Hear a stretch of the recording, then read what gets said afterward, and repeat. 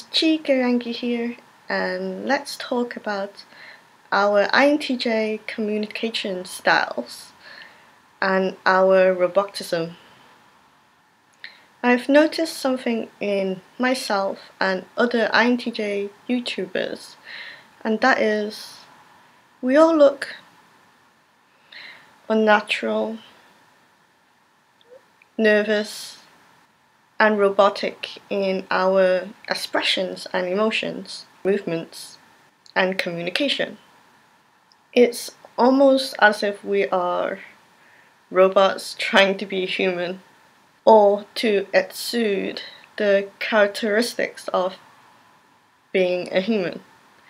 Personally, I really enjoy filming these videos, but somehow the recorded outcome is weird. In real life, I would be much more fluid and animated in my movement and expressions. Just overall being natural in the art of humaning. so, knowing that I look like a rock Sorry, I can't help that apparently. It's as if we INTJ have this unexpected style on camera. Being a rock. I'm going to digress a little bit here and say that sometimes I feel that I am Bella from the Twilight series. You know, the part when she gets turned into a vampire and when her dad comes to visit, she's told by the other vampires to blink more often and to move your body as if you're breathing. I feel like that sometimes, except it's me telling myself to be more human and to remind myself to not sit like a stone. Anyways, it seems that INTJ's choice of communication style takes on various different and artistic turn in order to portray their feelings such as through writing, texting, drawing or painting, sculpting, molding and knitting. These are all handy ways of giving someone a piece of us when we don't know how to describe what we're feeling and sometimes words fail us because we want to say more but we probably don't know how to so these methods of communication style helps us to channel our thoughts with clarity because when we speak our words would be or every single word would be non-linear, whereby we'll stutter and pause a lot. We also repeat ourselves for you to understand, as well as for us to make sure that what we are saying or explaining is correct. And as you've seen in my other videos,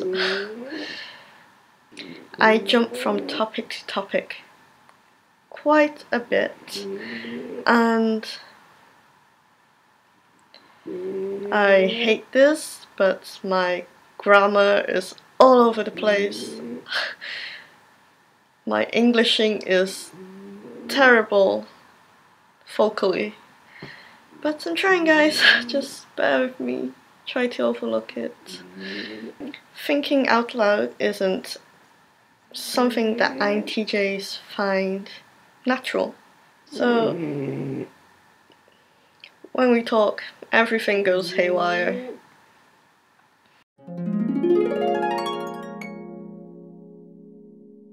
But hey, everyone can learn how to communicate with practice. We're not all born excellent communicators. Of course, though, communication comes natural to some, whereas others have to work hard at it. And that's okay, as long as you actively work at it.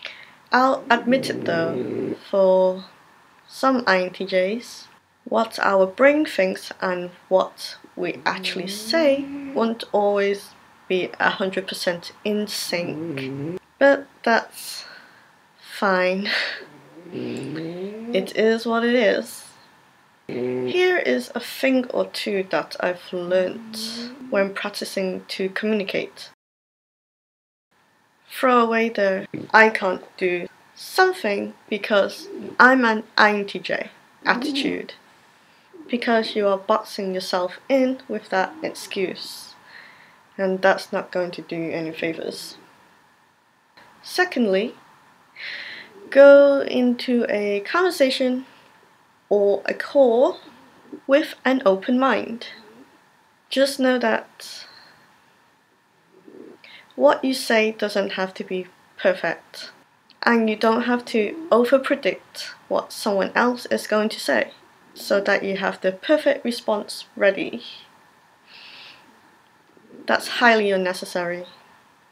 And I know it's difficult at first because we're so used to over analyzing other people and what possible things that they'll say, and then we'll cater to that in a sense.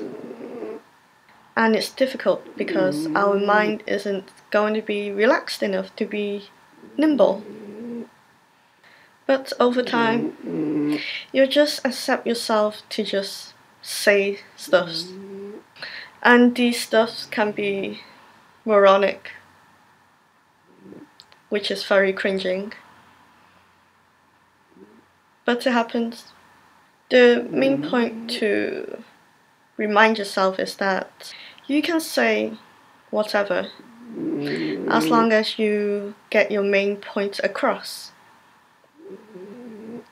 So maybe along the way, you may say really inconsequential things and you dib and dab everywhere before you even reach your main point. But at the end of the day, count yourself successful when you manage to get your point across. Of course, though, with these methods of saying whatever, or without this method. There'll be moments in an INTJ's life whereby they think of the best response to a conversation or topic a week later or a month later, even a year later. And that sucks so much. Damn it.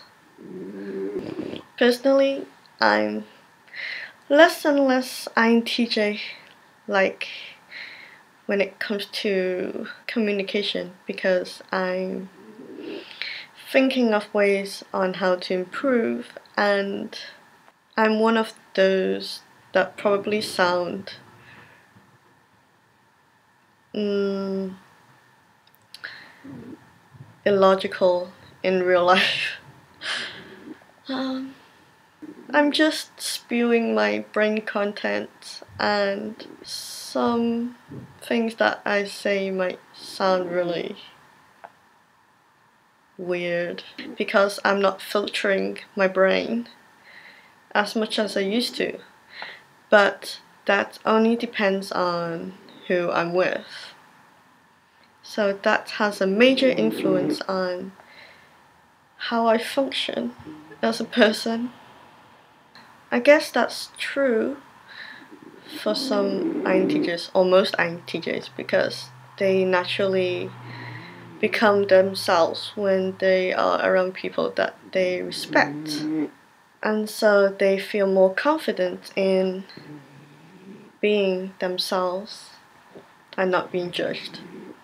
Not that we care about being judged anyway. That sounded contradicting.